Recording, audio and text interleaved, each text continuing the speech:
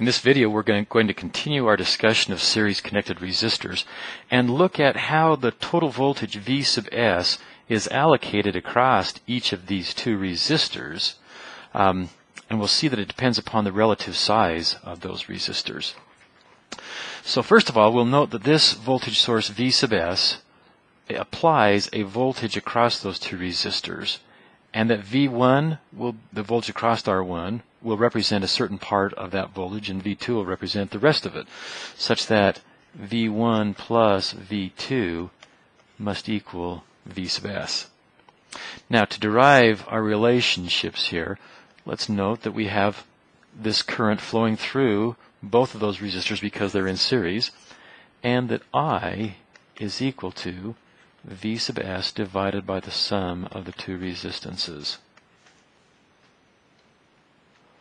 From that, we can write expressions for V1 and V2. V1, of course, is just the current flowing through R1 times R1, or V sub S over R1 plus R2, that's the current, times R1. And similarly, V2 is equal to the current, V sub S over R1 plus R2, times R2. Now let's just rearrange these two expressions, bringing v sub s out in front and forming the ratio, in this case, of um, bringing v sub s out in front and then forming the ratio of r1 over r1 plus r2 for v1. And for v2, similarly, we have v sub s out in front, and then we have the ratio here of r2 over r1 plus r2. Let's look at these ratios what this ratio is here, or it represents the percentage that R1 is of the total resistance. And similarly, in this ratio here, this represents R2's percentage of the total resistance. So what this is saying is that V1, the voltage across R1, is proportional to the size of R1.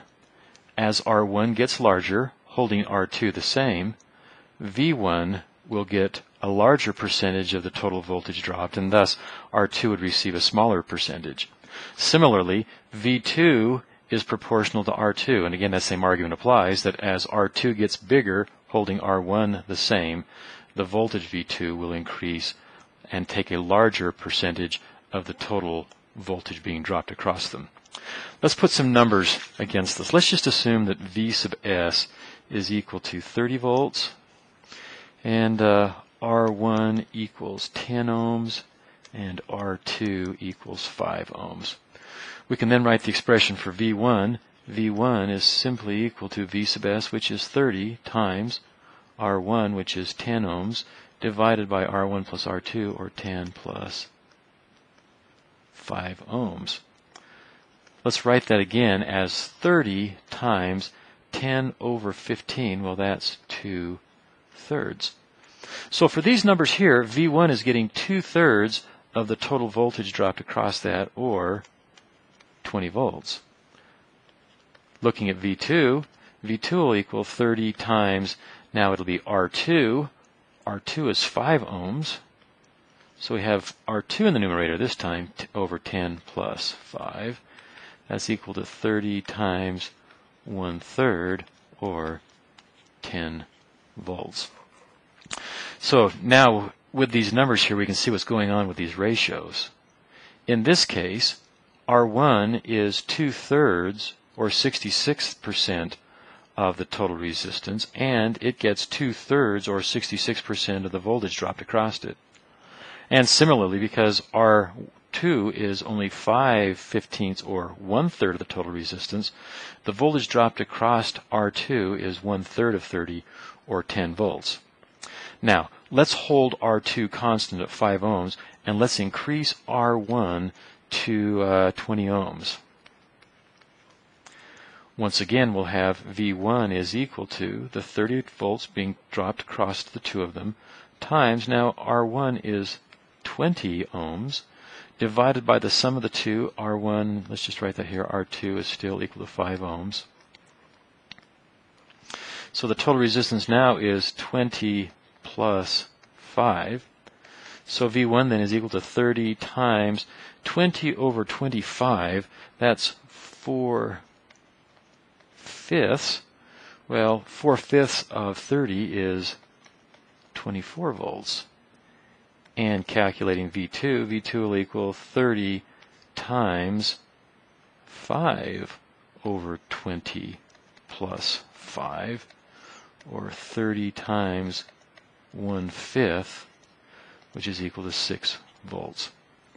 Notice in each instance, the two voltages have to add up to the total source voltage. 20 plus 10 is 30 volts. Similarly here, 24 plus 6 is 30 volts.